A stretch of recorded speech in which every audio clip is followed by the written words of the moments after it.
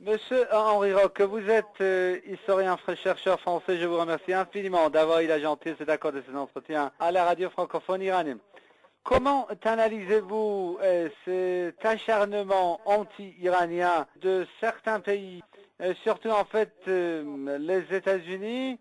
Comme vous le savez très bien, l'Iran fait ce jour-ci l'objet des pressions et même des menaces qui concernent son programme nucléaire pacifique. Oui, ben, les États-Unis sont sous la coupe du lobby juif sioniste qui existe en Amérique et qui est extrêmement puissant. Alors, euh, on en revient toujours à Israël. Et c'est pour ça que pour Israël, l'Iran, c'est le pays du diable.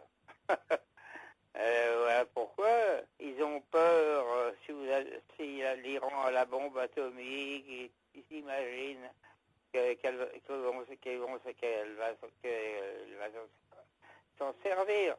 Alors que le Pakistan a la bombe atomique, il s'en est jamais servi. Euh, Israël a la bombe atomique, et s'en est encore jamais servi. Et bien d'autres pays ont la bombe atomique, et ne s'en sont jamais servis. Alors c'est une, euh, c'est une imposture que de faire des à l'Iran et de mettre les gens euh, sous pression pour qu'ils craignent euh, la menace de l'Iran.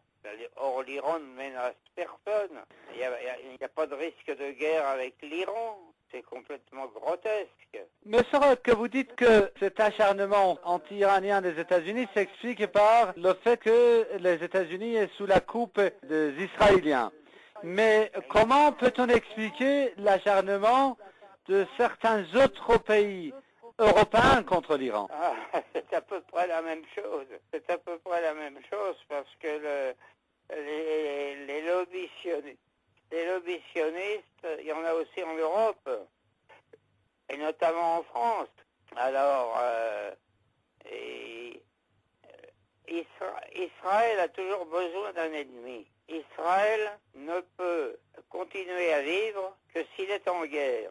Or, pour être en guerre, il faut avoir un ennemi. Eh bien, ils ont découvert l'Iran. Et alors, ils s'acharnent à prétendre que l'Iran représente un danger, alors que, que c'est complètement faux. L'Iran ne représente aucun danger.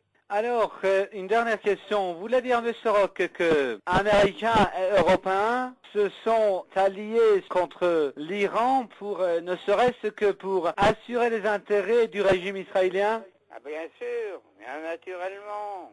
Euh, Sarkozy a dit lui-même qu'il était un inconditionnel soutien à Israël.